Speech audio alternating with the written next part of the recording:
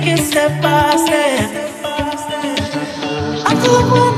Oi, gente! No vídeo de hoje é sobre as orcas. Gente, só.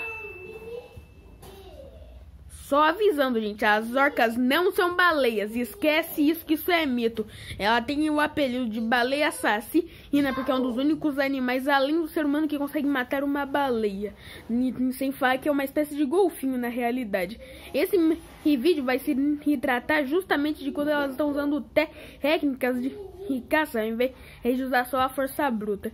Vamos, no vídeo de hoje vamos falar sobre o encalhe intencional. Ah, tá, olha só. Ó, o encalhe intencional é o seguinte, elas nadam rápido em direção à praia para dar um em um dos filhotes. E para hum, e elas vão numa velocidade não muito devagar, nem muito rápida. Elas fazem na, na velocidade perfeita para conseguir ir e pegar o filhote, não encalhar muito, se né? não ela não consegue voltar para água. Hum. E ela fica chacoalhando o filhote no chão e dando pancadas. Quando é para caçar mesmo, tipo para valer, elas fazem forte as pancadas e para e, e fica chacoalhando para que elas para que os filhotes não consigam acertar elas. É que elas, mesmo sendo animais bem grandes e robustos, têm uma pele sensível. E agora quando não estão caçando pra valer, elas simplesmente largam o filhote não de... E quando não tá caçando pra valer mesmo, elas, elas simplesmente ou batem no filhote até morrer, ou simplesmente o leva até lá embaixo e o afoga antes. Então, agora a gente... E agora vamos supor que o encalhe intencional tenha dado errado. E que agora e que a baleia esteja encalhada na praia. Ela simplesmente não ia conseguir, ia ficar fatalmente ferida por causa da gravidade. Anthony, vem aqui. Hum. Ebre. Tá, olha só, inscritos. Hum. É, o tamanho mínimo de uma. Do, do o tamanho mínimo do, quadro, do osso do quadril de uma baleia orca é do tamanho hum, do dedo mindinho do meu do meu irmão que é desse tamanho, mas quando é do tamanho máximo, é do tamanho do meu. Hum, para vocês terem uma noção de quanto é pequeno. Hum, uma, uma baleia.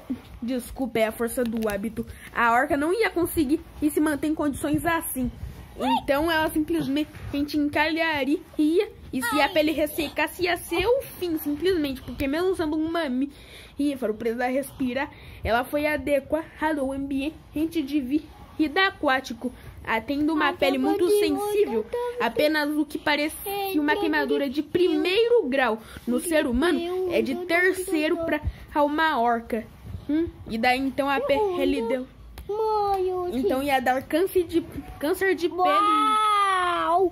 Tá, Anthony, mas a gente já falou sobre os nossos dedos e a com, comparando com o com o osso do com o osso do pelvis de uma orca. Agora, agora voltando ao que eu tava falando. Uau, o que, Antônio? Tá, agora voltando ao que eu tava falando.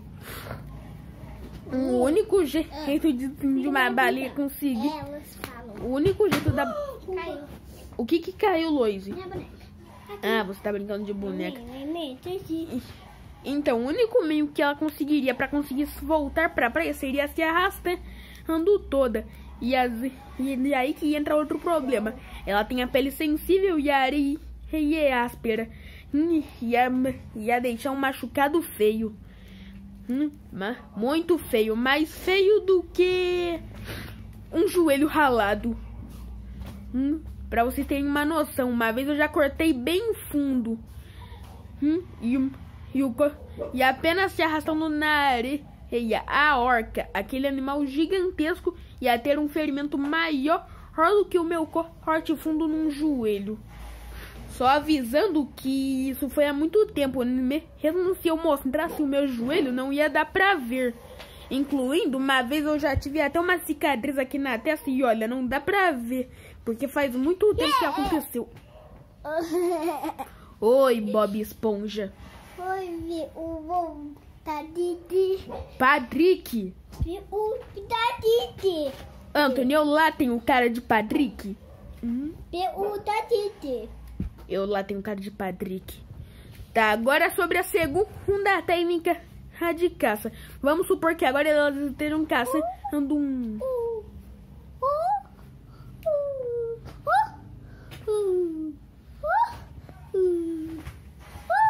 Vamos supor que elas estejam... Agora vamos supor que elas estejam caçando um Anthony, como esse daqui. Elas iriam, elas iam criar asas do nada, iriam pegar, iam abrir o nosso telhado e pegar o Anthony pela cabeça. Anthony maior cai lá em cima, corre! Corre, corre, corre! Então a orca vai te pegar pe pela camiseta. Gente, só brincando com. Gente, a gente tá só brincando com o Anthony. Agora vamos logo pra verdadeira caça. Vamos supor que elas estejam, né? Vamos supor que as orcas estejam caçando um, um leão marinho adulto dessa vez. Sendo um adulto, já consegue nadar melhor. Ou seja, estando mais na água. Anthony, o que, que você tá fazendo? Comendo a minha cara?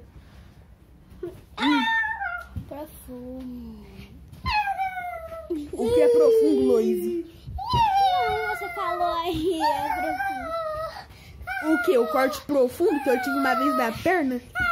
Olha só, gente, a Heloísa tá aqui presencial, Heloísa. Então, me diz, não é verdade que eu já tive uma cicatriz na cara, mas que agora nem, nem aparece mais? E não é verdade também que eu já cortei fundo do meu joelho?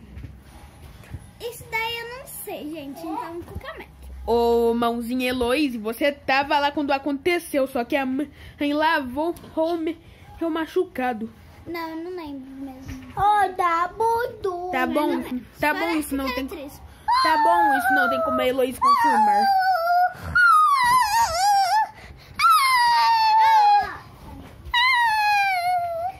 Então, os leões marinhos adultos já nadam, ou seja, mais há chance deles não terem que precisar fazer um encalhe intencional.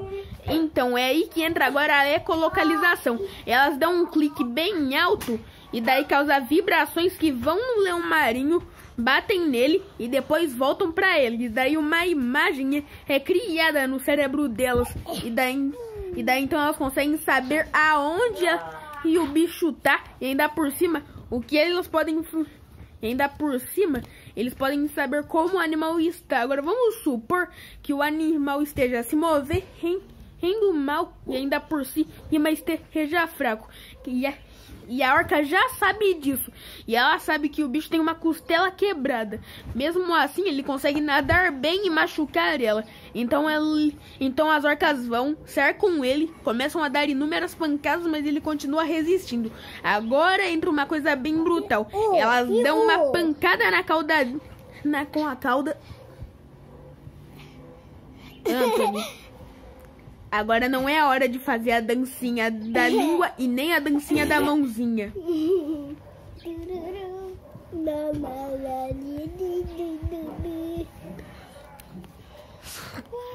Então, vamos supor, vamos supor que uma das ba baleias... É que é a força do hábito, gente. Muitos de nós cresceram pensando que a orca é baleia. Então, vamos supor que deu uma pancadona com a cauda. Então, ele vai ir pra cima mais de um...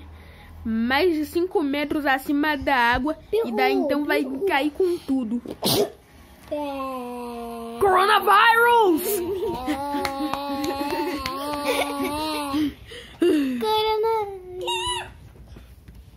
Biru, Anthony, chega de dancinha da língua. Esses dois. Nossa, gente, essa boneca ela foi tão cara, ela tá com, bar... com cabelo tão grosso. É, também, né, Lois? Você esqueceu de pentear ela. Eu tenho outra, que ela tem dodóis. Olha. Bem, gente, o vídeo de hoje vai ficando por aqui. Espero que vocês tenham gostado das informações e das piadas com, comigo e com os meus irmãos. Então, até agora, falem junto comigo. Ah, desculpa. Então, agora, falem junto comigo. Um, dois, três e tchau, Tchau, gente. gente. Fui.